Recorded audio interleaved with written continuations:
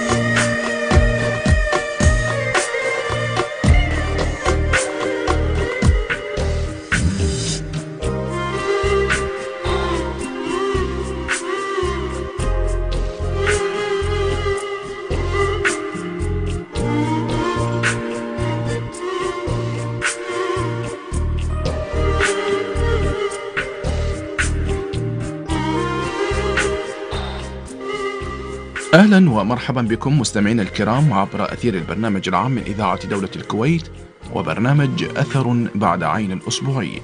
وأجمل تحيات نهديها لكم أيضا أعزائي المستمعين لنستمتع معا مع الترفيه والمعلومات من خلال فقراتنا المتنوعة ولنبدأ الآن مشوار رحلتنا.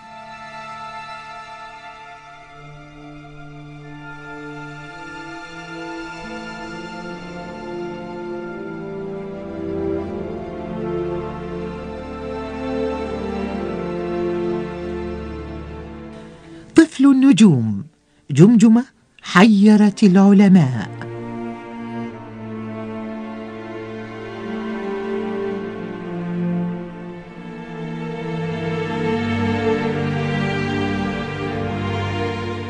منذ أقدم العصور هناك أسطورة تداولتها معظم الشعوب والأمم عن الغرباء القادمين من السماء. مخلوقات فضائية صوروها بأشكال وهيئات وأسماء مختلفة.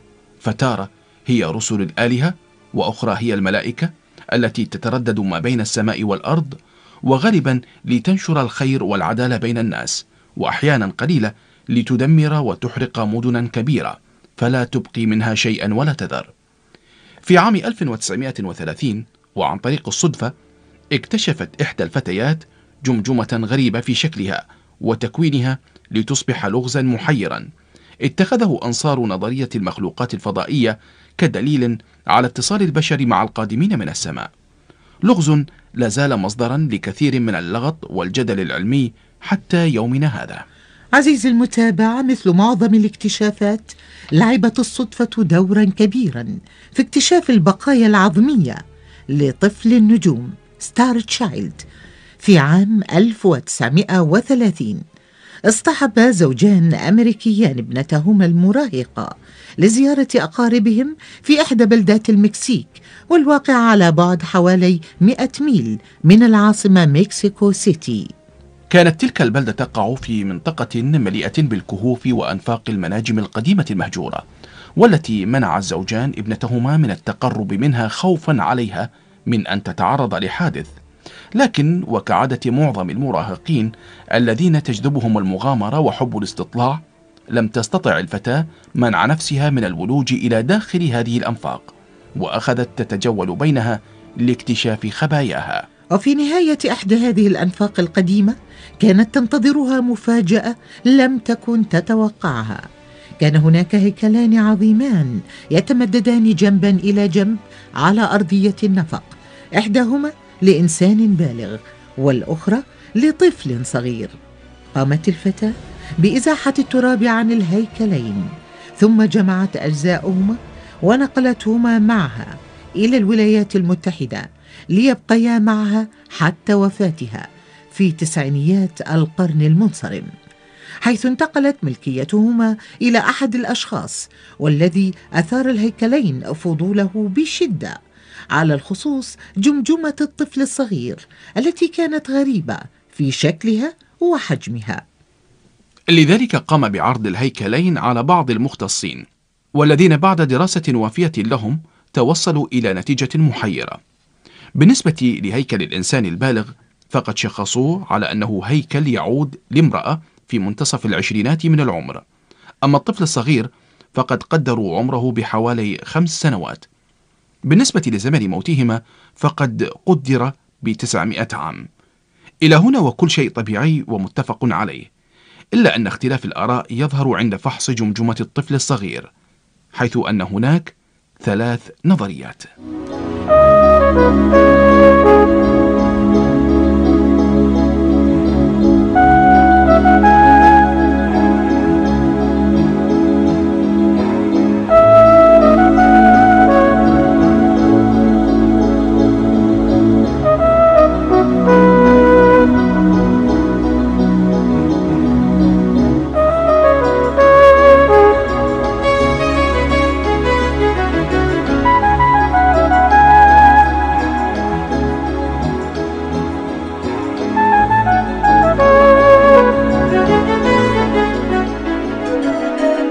النظرية الأولى تقول إن الطفل كان مصابا بمرض أدى إلى تشوه الجمجمة مثل مرض الاستسقاء الدماغي أو مرض الشيخوخة المبكرة أو غيرها من أمراض التشوهات الولادية.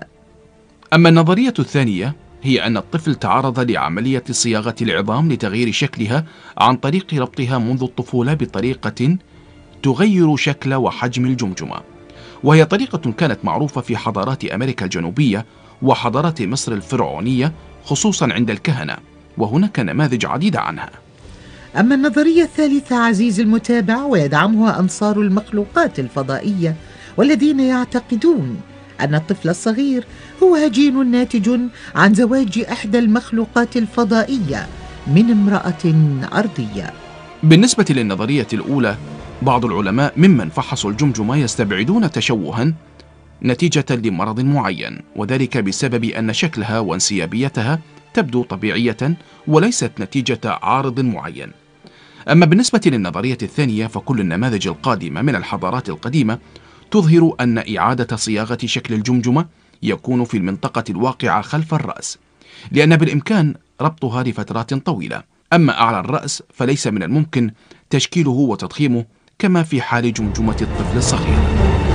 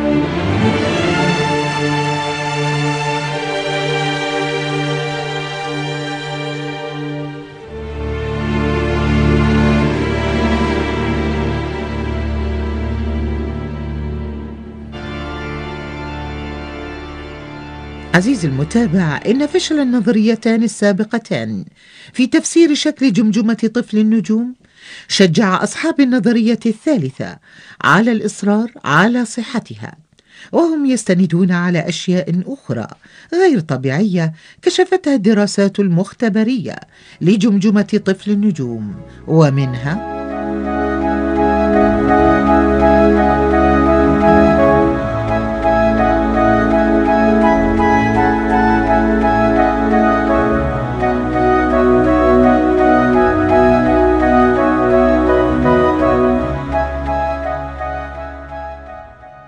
أن حجم الجوف الدماغي للجمجمة غير طبيعي بالمرة فهو يعادل 1600 سنتيمتر مكعب أي أكبر بمقدار 200 سنتيمتر مكعب من حجم الجوف الدماغي للإنسان البالغ الطبيعي وأكبر ب 400 سنتيمتر مربع من حجم الجوف الدماغي لطفل طبيعي في نفس عمر طفل النجوم. كذلك عزيز المتابع تجويف العينان بيضاوي الشكل وعمقه أقل بكثير منه لدى الإنسان الطبيعي كما أن عصب العين يتصل بالعين من الأسفل وليس من الخلف كما في الإنسان الطبيعي.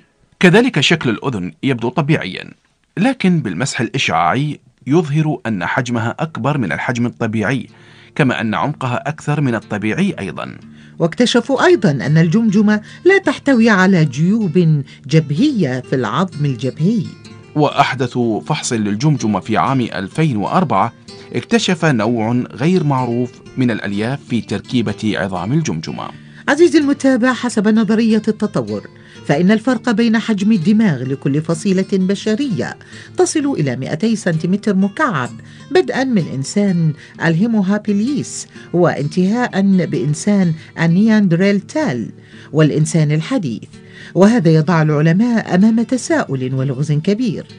طبقا لنظرية التطور فإن جمجمة طفل النجوم تعود إلى فصيلة غير معروفة وغير مكتشفة سابقا من فصائل الإنسان. لسوء الحظ فإن الفتاة التي اكتشفت الهياكل العظمية عام 1930 قامت بتنظيفها وتعريضها للشمس مما أدى إلى تدمير الحمض النووي لها. وبالتالي جعل من مهمة عمل فحص الدي ان اي للهياكل صعبة وعسيرة. لكن رغم ذلك فقد قام العلماء بعمل أربعة تحاليل للحمض النووي كان آخرها عام 2004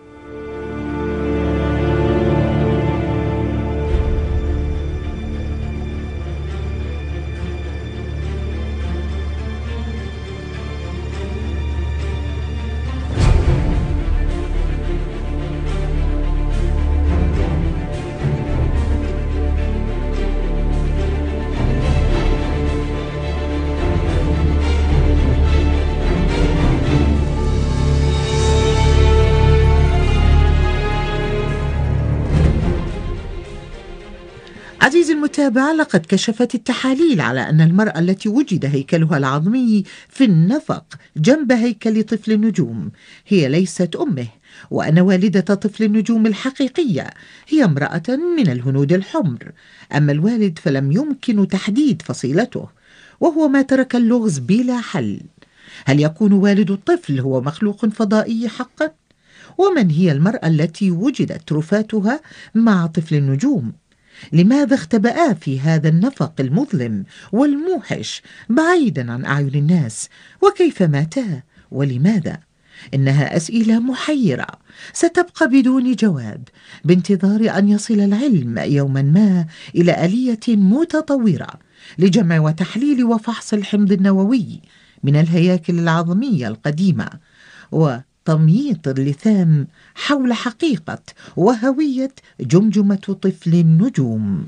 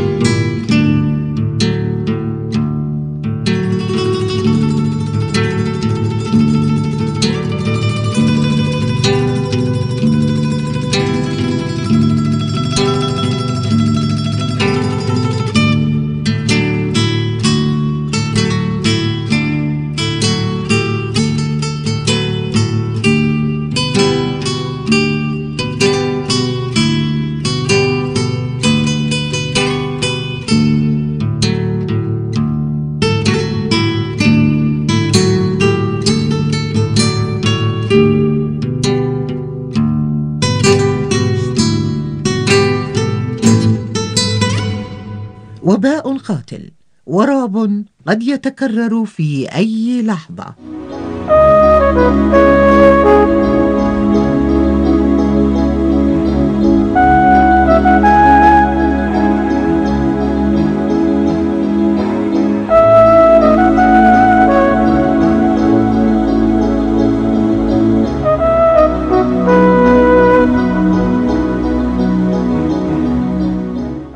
فيما كانت الجيوش المتحاربة مستمعينا الكرام تقاتل بشراسة في قلب أوروبا أثناء الحرب العالمية الأولى. كان هناك عدو خفي وقاتل يتربص بالبشرية. عدو صغير إلى درجة أن العين المجردة لا تتمكن من رؤيته. لكنه أشد ضراوة من جميع الأسلحة الحديثة التي اخترعها الإنسان. سيغزو أجساد ثلث سكان الأرض ويسبب من الوفيات خلال عدة شهور ما لم تحصده الحرب خلال أربعة أعوام.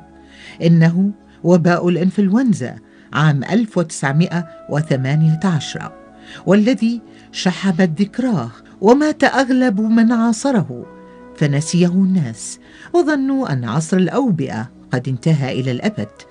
لكن عزيز المتابع ظهور سلالات جديدة من الفيروسات مثل أنفلونزا الطيور والخنازير عاد إلى الأذهان شبح ذلك الوباء المرعب وجعل الكثيرين يتساءلون حول إمكانية حدوثه مرة أخرى.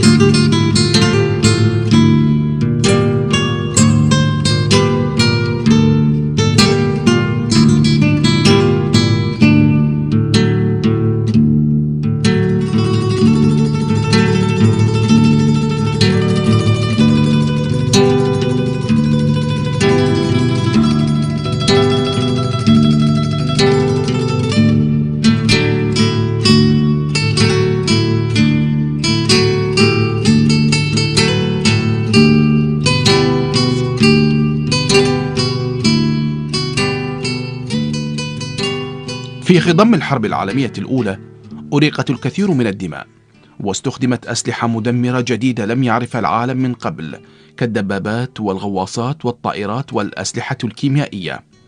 بالنسبة للكثيرين في أوروبا فإنهم لم يكونوا يتخيلون حدوث أمر أكثر سوءا من الحرب التي كانوا يحترقون في أتونها. لكنهم كانوا مخطئين عزيز المتابع. فما سيحدث بعد آذار مارس عام 1918 سيكون شيئا مختلفا عن كل ما رأوه سابقا وسيحصد من الأرواح البشرية أكثر مما فعلته الحرب بسنواتها الأربع المريعة. لكن هذا الموت الداهم لن يأتي من ساحات المعارك المشتعلة في قلب أوروبا بل سيحلق طائرا عبر المحيط ليحل ضيفا ثقيلا على سكان القارة العجوز المنهكين من الحرب.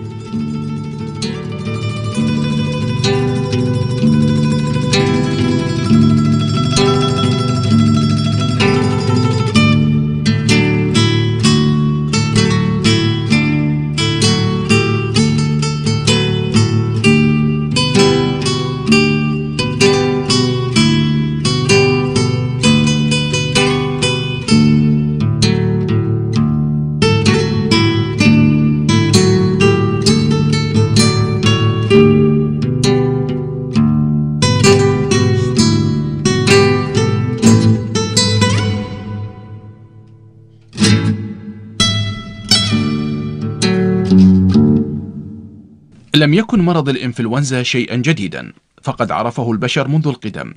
ذكره أبو قراط الإغريقي ووصف أعراضه قبل 2500 عام وانتشر المرض عدة مرات كوباء.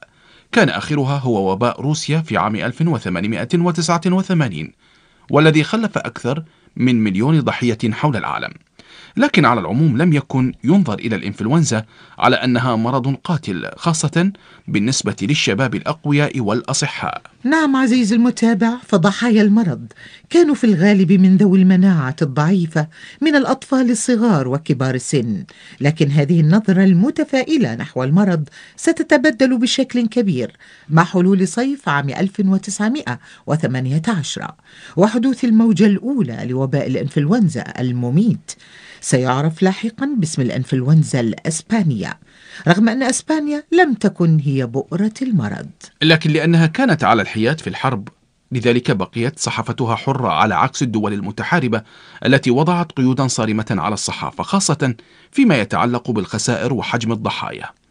ونتيجة لذلك فإن أخبار المرض التي كانت تتناقلها الصحافة العالمية كانت تأتي في أغلبها من إسبانيا مما جعل الكثيرين يظنون بأن مصدر المرض هو إسبانيا. كما في بقية أنواع الأوبئة فإنه يصعب تحديد البؤرة الأولى لانتشار المرض.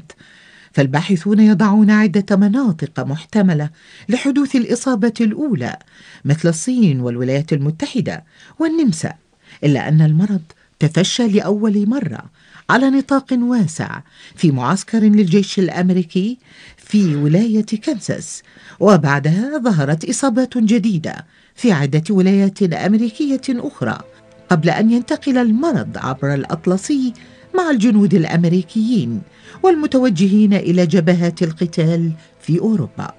ومن هناك انتشر بسرعة بفضل تطور وسائل النقل ووسائط النقل وحركة الجيوش المتحاربة ليحصد أرواح ضحاياه في جميع أنحاء المعمورة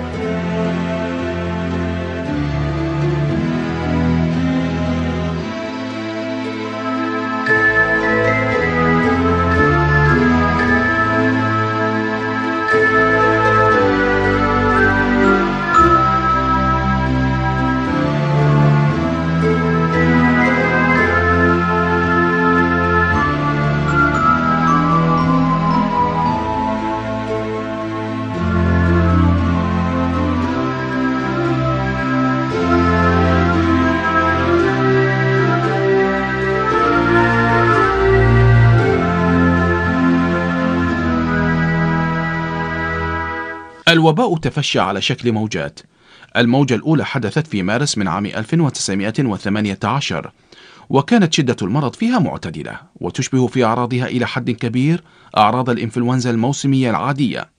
فكان ضحاياها في الغالب هم من الأطفال وكبار السن. فيما استرد الشباب والرجال الأصحاء عافيتهم وشفوا من المرض بسرعة.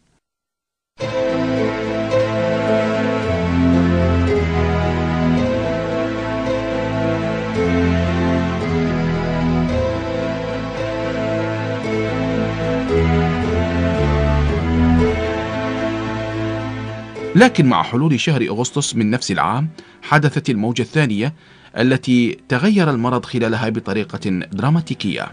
لقد كان نفس الفيروس عزيزي المتابع بدليل أن المرضى الذين سبق أن أصيبوا به في الشهور السابقة تكونت لديهم مناعة ضده إلا أنه تحول إلى مرض مميت وشديد الفتك بضحاياه وأصبح الشباب والرجال الأصحاء منهم هم الأكثر عرضة للإصابة بالمرض والموت بسببه على عكس الإنفلونزا العادية والتي تصيب عادة ذوي المناعة الضعيفة.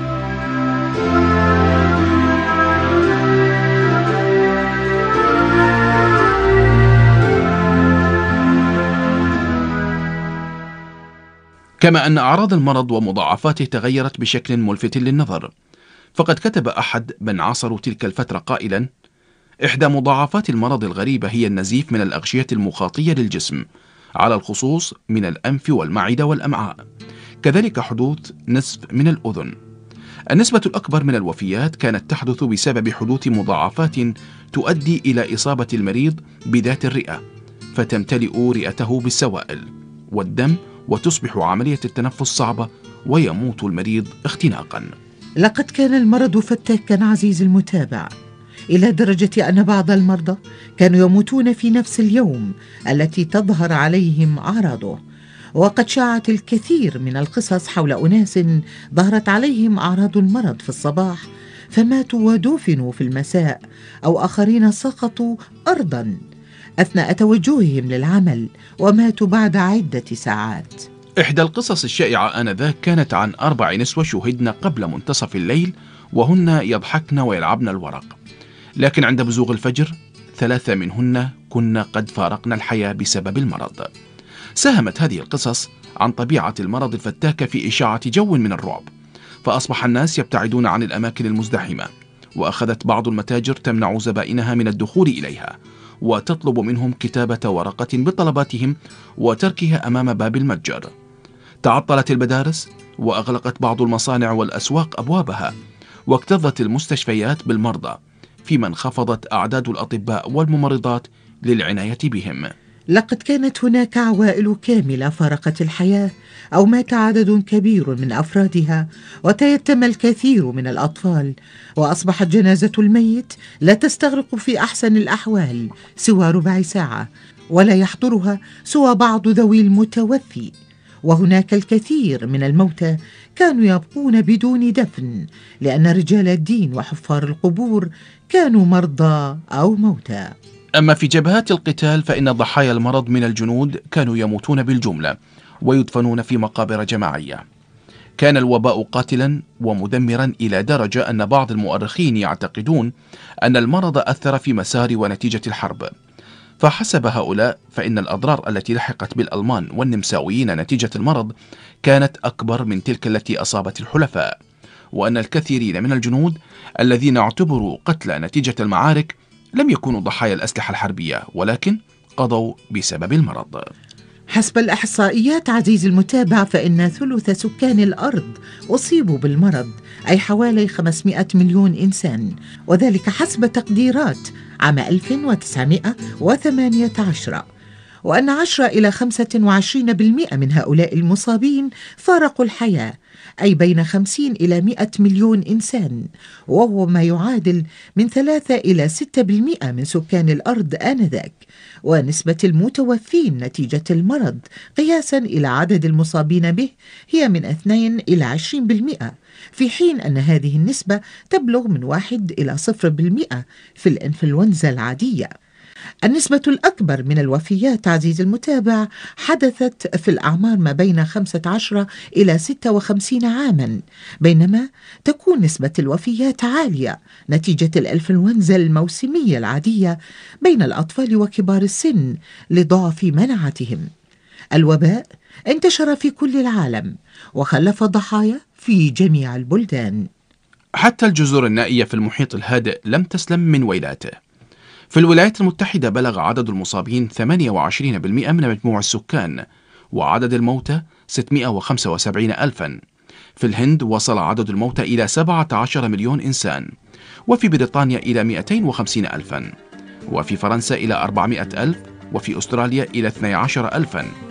أما في اليابان فقد بلغ 390 ألفا. هناك قرى في ألاسكا ونيوزيلندا ومناطق أخرى من العالم بلغ عدد الموتى فيها من 80 إلى 90% من عدد السكان ويرجع الكثيرون عزيز المتابع هذا التفشي المروع للوباء وباء الإنفلونزا وقت ذاك إلى عودة الجنود إلى أوطانهم من جبهات القتال في أوروبا حاملين معهم الفيروس إضافة إلى عدم تطبيق الإجراءات الطبية الصحية والصحيحة وأهمها الحجر الصحي للمسافرين والمشكوك في إصابتهم بهذا المرض. مع بداية عام 1919 بدأ الوباء ينحسر ويختفي على نحو سريع. البعض عزى ذلك إلى تزايد الخبرة الطبية للتعامل مع المرض واتخاذ إجراءات احترازية في معظم الدول ضد انتشاره. فيما يرى البعض الآخر بأن السبب الحقيقي وراء نهاية الوباء يكمن في فيروس الإنفلونزا حيث أنه يفقد قوته وصفاته المميتة بالتدريج خلال انتقاله عبر عدة أجسام مضيفة. رغم الخسائر الثقيلة التي ألحقها وباء الإنفلونزا بالبشرية إلا أن الناس سرعان ما نسوا الوباء. وربما كان لنهاية الحرب وبدء زمن سلم جديد دور كبير في ذلك. فجأة ضاعت ذكر المرض بعد أن كانت أخباره تطغى على كل شيء حتى أن بعض الباحثين أطلقوا عليه اسم الوباء المنسي. لكن مع عودة ظهور فيروس إنفلونزا الطيور وإنفلونزا الخنازير في تسعينات القرن المنصرم عاد شبح وباء عام 1918 ليخيم على البشرية مرة أخرى. وأخذت الصحف والمواقع الإلكترونية تكتب عنه. وبدأ الناس يعون مدى خطورة فيروسات الإنفلونزا وحجم الموت والدمار الذي يمكن أن تنشره في حال تفشت كوباء.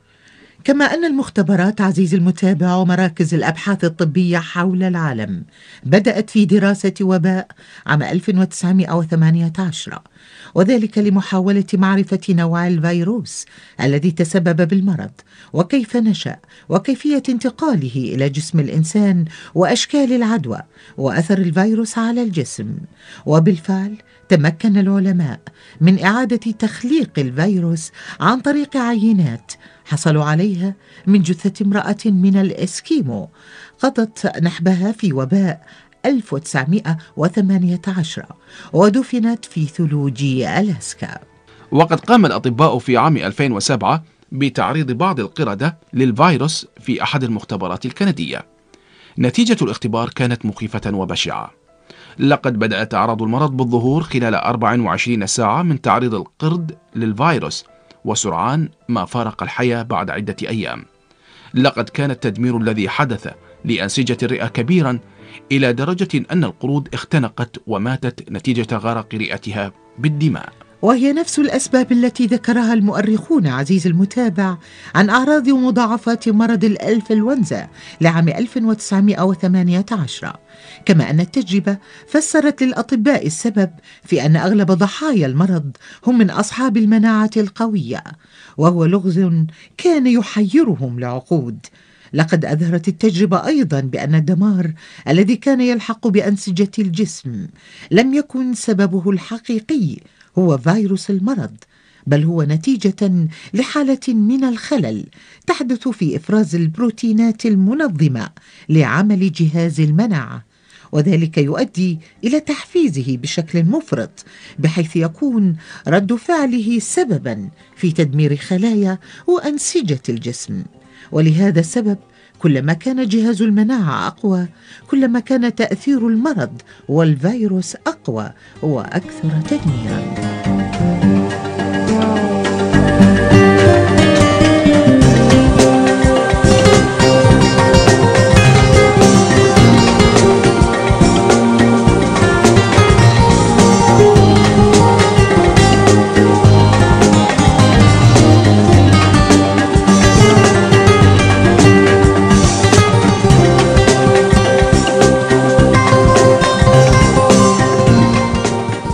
ويعكف الأطباء حاليا لدراسة كيفية ابتكار طرق جديدة لعلاج فيروسات الإنفلونزا الخطرة في حال تفشيها كوباء مرة أخرى.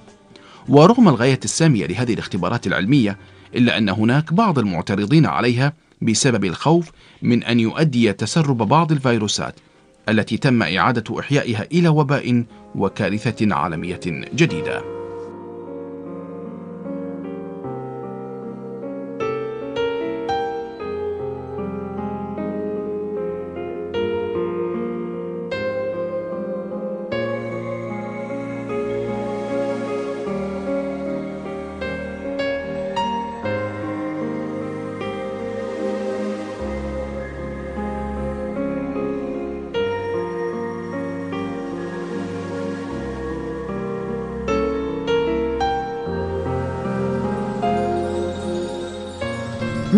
قصص الفراسة والذكاء في التاريخ العربي.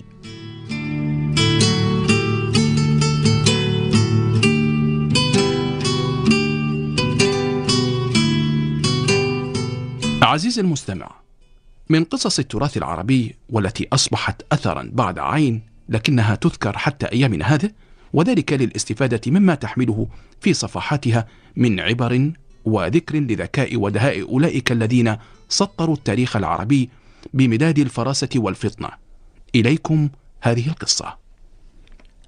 عزيزي المتابع تقول القصة لما حضرت أباهم نزار الوفاة دعا أبناءه ليوصيهم.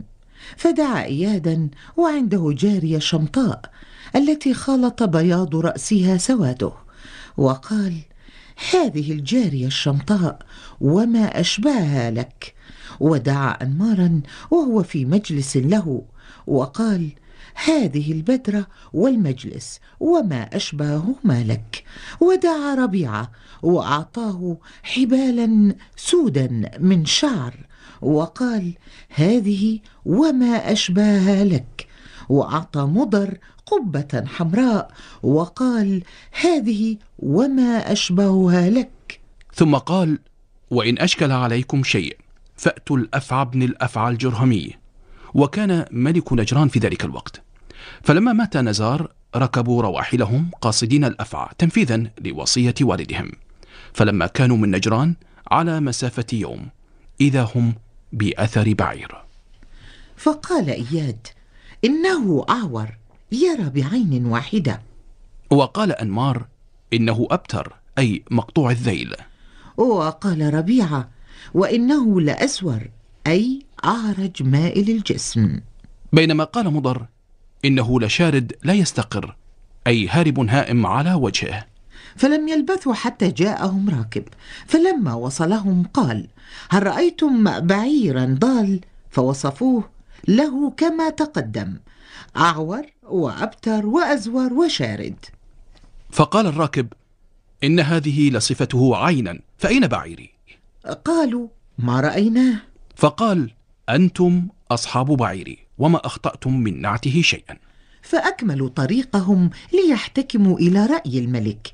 فلما أناخوا بباب الأفعى واستأذنوه وأذن لهم صاح الرجل بالباب فدعا به الأفعى وقال له ما تقول يا هذا؟ قال أيها الملك ذهب هؤلاء ببعيري. فسألهم الأفعى عن شأنه فأخبروه. فقال لإياد ما يدريك أنه أعور؟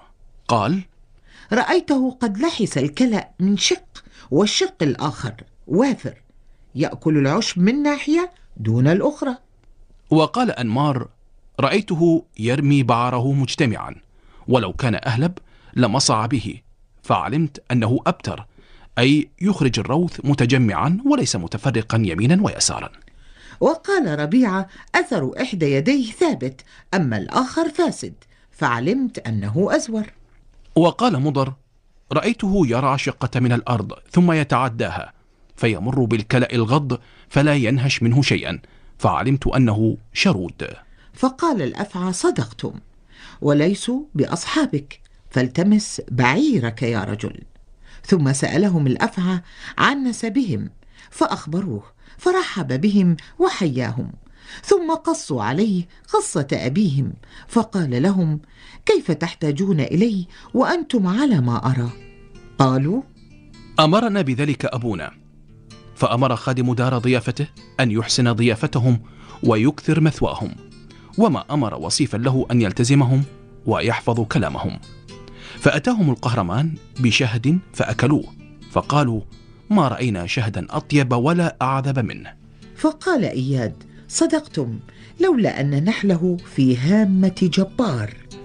ثم جاءهم بشاة مشوية فأكلوها أيضا واستطابوها فقال أنمار صدقتم لولا أنها غذيت بلبن كلبة. ثم جاءهم بالشراب فاستحسنوه فقال ربيعة لولا أن كرمته نبتت على قبر. ثم قالوا ما رأينا منزلا أكرم قرى ولا أخصب رحلا من هذا الملك. فقال مضر صدقتم لولا أنه لغير أبيه. فذهب الغلام إلى الأفعى فأخبره بكل ما سمع مما دار بين الإخوة. فدخل الأفعى على أمه فقال أقسمت عليك ألا أن تخبرينني من أبي. قالت أنت الأفعى ابن الملك الأكبر. قال حقا يا أمي أصدقتيني؟ فلما ألح عليها قالت أي بني إن الأفعى كان شيخا. قد أثقل فخشيت أن يخرج هذا الأمر عن أهل هذا البيت. وكان عندنا شاب من أبناء الملوك اشتملت عليك منه.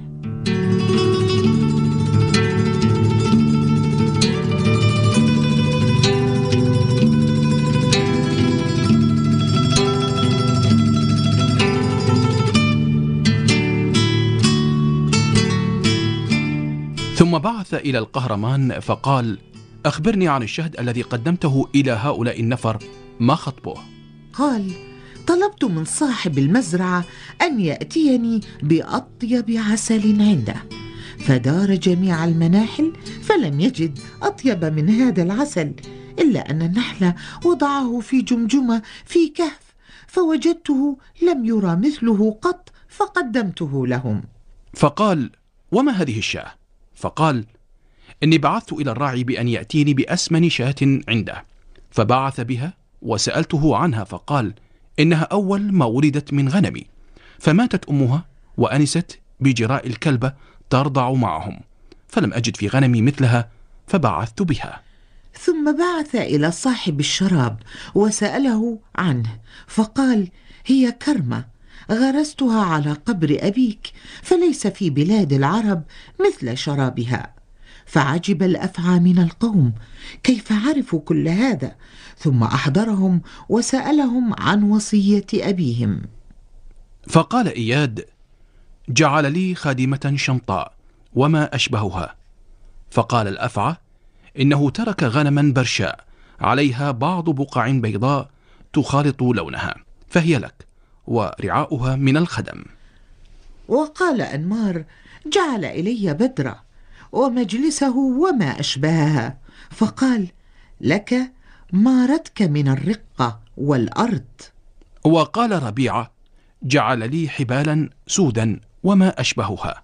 فقال ترك أبوك خيلا دهماء وسلاحا فهي لك وما معها من موالية فقالت العرب بعد ذلك ربيعة الفرس. وقال أخوه مضر جعل لي قبة حمراء وما أشبهها قال إن أباك ترك إبلا حمراء فهي لك. فقالت العرب بعد ذلك مضر الحمراء. وأعطاهم وبعد ذلك أعطاهم مالهم الأفعى وأكرمهم ثم رحلوا عنه.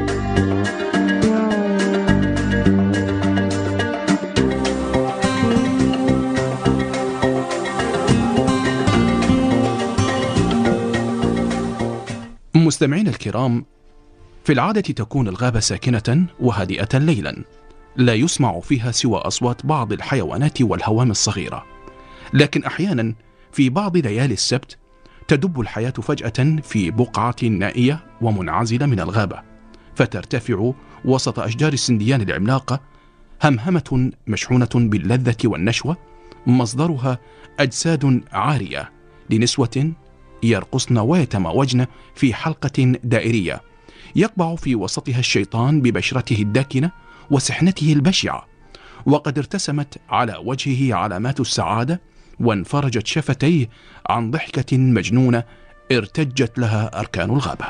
ولمعلوماتك عزيزي المتابع في القرون الوسطى أحرق مئة ألف إنسان في أوروبا بتهمة ممارسة السحر منذ العصور السحيقة في القدم. وكان للسحر والمعتقدات المرتبطة به اثرا بارزا في حياة الإنسان وفي فهمه وتفسيره لما يجري من حوله. ولقد لعبت الديانات الوثنية القديمة دورا كبيرا في تعزيز إيمان الإنسان بالغيبيات فصار الناس في المجتمع البدائي يعزون الظواهر التي يعجزون عن تفسيرها إلى السحر. والخوارق.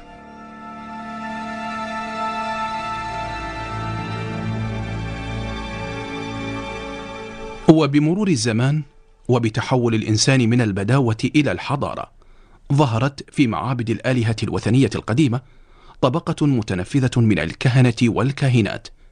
كانت الممارسات السحرية جزءا مهما من منظومتهم العقائدية وظهرت أيضا مجموعات من النساء الجميلات. اللاتي اعتكفن في المعابد وكرسن أنفسهن لخدمة الآلهة. فكانت وظيفتهن الرئيسة تتمثل في الغناء والرقص أثناء ممارسة الطقوس والشعائر الدينية. عزيزي المتابع في أوروبا القديمة مارست الأقوام والقبائل المختلفة طقوسها الوثنية في الهواء الطلق ولقرون طويلة كانت الغابات والمناطق النائية والمنعزلة مثل ستونغ هينج في إنجلترا. كانت مسرحا لهذه الاحتفالات المكرسة للآلهة القديمة. لكن تبني الإمبراطورية الرومانية للديانة المسيحية في القرن الرابع للميلاد وما تلاه من انتشارها في مختلف أجزاء أوروبا خلال القرون اللاحقة. كل ذلك أدى إلى انحسار وتراجع الديانة الوثنية. ثم اندثارها بشكل كامل مع بدء الحملات الصليبية خلال القرن الثاني عشر إلا أن بعض المعتقدات المرتبطة بالوثنية استمرت في تأثيرها على سكان أوروبا وتحولت إلى فلكلور حافل بقصص السحر والأبطال الخرافيين.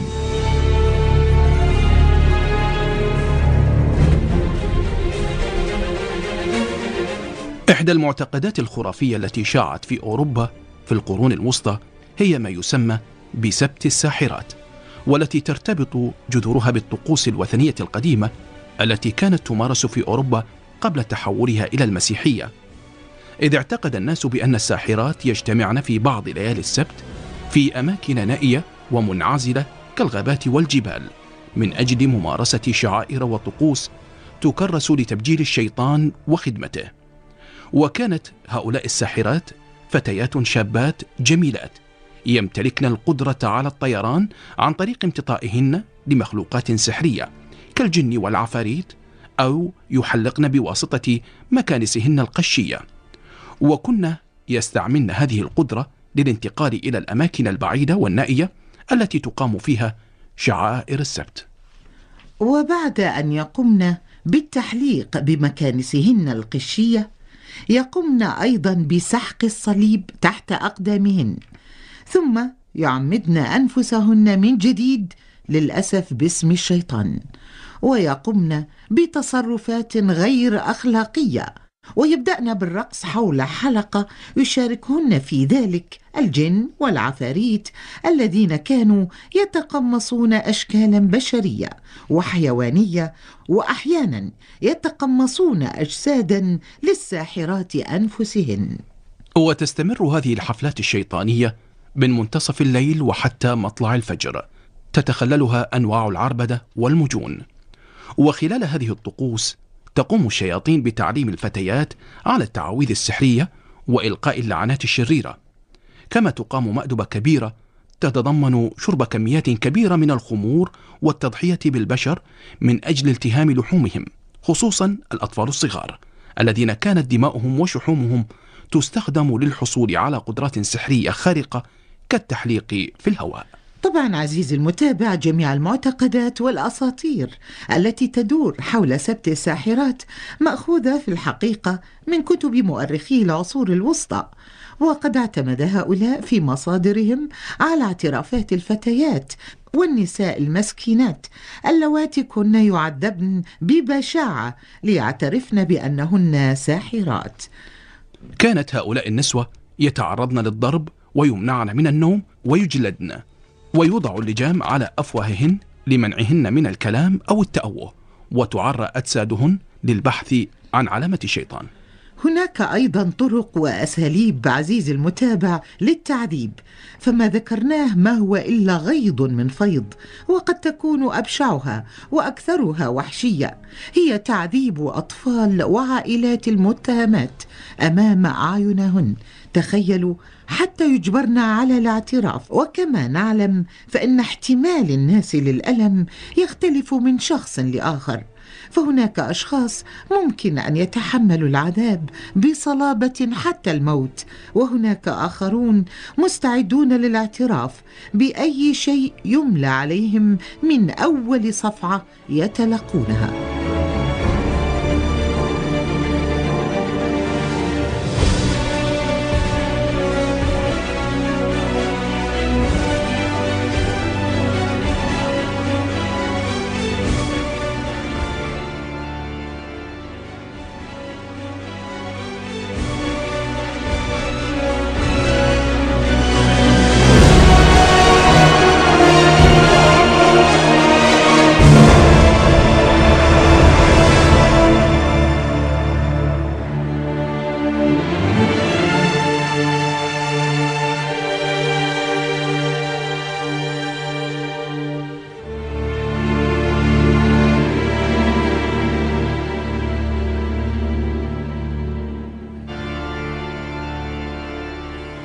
أغنية مميتة تقتل سامعيها.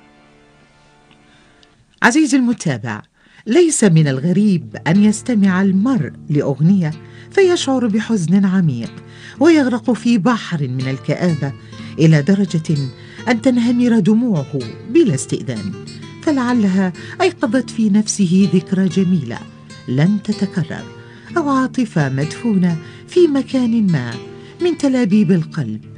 لكن أن تكون الأغنية كئيبة وحزينة إلى درجة أن تؤدي بمستمعيها إلى الموت فذلك هو الغريب حقا. في ثلاثينات القرن الماضي لم تكن أوروبا مكانا جميلا ومسالما كما هي اليوم.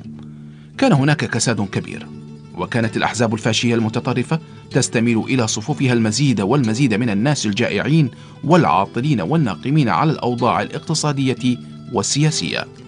ولم تكن المجر بمنأى عن تلك الأوضاع.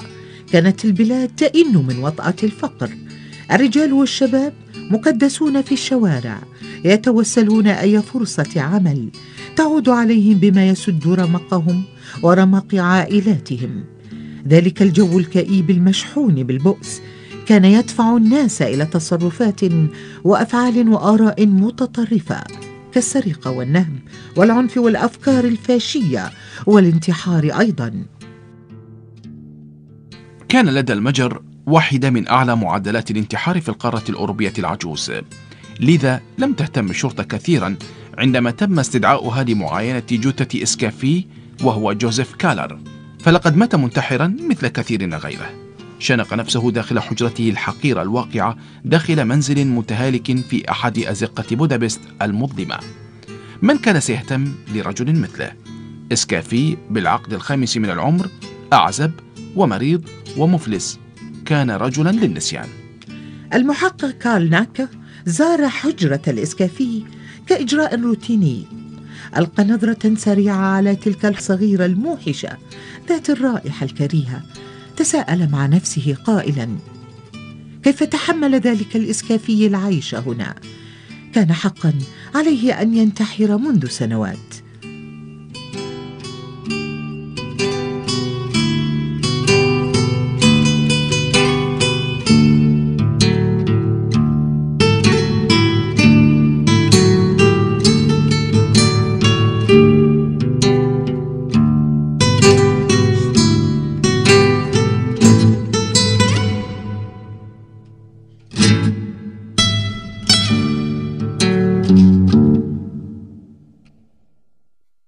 في الحقيقة لم يكن هناك ما يسترعي الانتباه في تلك الحجرة. كانت تخلو من الأثاث باستثناء سرير تعلوه أغطية بهت لونها وتكدر.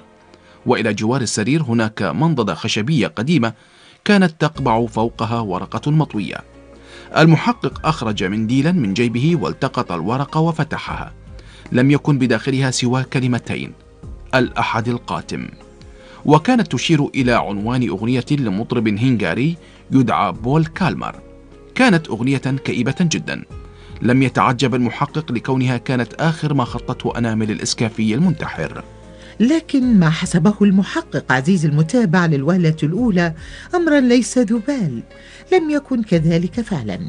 فبعد عدة أيام تم استدعاؤه مجددا لمعاينة جثة فتاة تدعى مهري في السابعة عشرة من عمرها. ماتت منتحرة بجرعة سم قاتل. بجوار جثتها الباردة على السرير كان هناك دفتر مذكرات منثور الصفحات. مرة أخرى أخرج المحقق منديله رفع الدفتر برفق. قلب صفحاته بسرعة وبدون اهتمام. لكن عندما وصل إلى الصفحة الأخيرة تغيرت معالم وجهه. لشدة استغرابه كانت آخر عبارة خطتها الفتاة في ذلك الدفتر قبل موتها هي الأحد القاتم. ما القضية؟ تساءل المحقق مع نفسه. ما قصة هؤلاء المنتحرين مع هذه الأغنية بالذات؟ الأيام التالية حملت للمحقق كارل المزيد من المفاجآت إذ تتالت البلاغات عن أشخاص آخرين استمعوا لأغنية الأحد القاتم مباشرة قبل انتحارهم. بعضهم فجر رأسه برصاصة. آخرون رموا أنفسهم في مياه الدانوب الباردة فغرقوا. وقام بعضهم بقطع شرايينهم في الحمام. كانت هناك قصة غريبة عن رجل كان يجلس في حانة. طلب من الساقي أن يشغل له أسطوانة. أسطوانة الأحد القاتم. وما أن انتهت الأغنية. حتى خرج من الحانة ورمى نفسه تحت إطارات أول سيارة مرة.